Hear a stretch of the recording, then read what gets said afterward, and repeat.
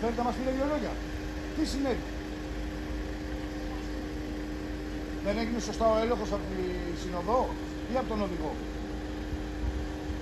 Δεν θέλετε να μας πείτε; Δεν θέλετε.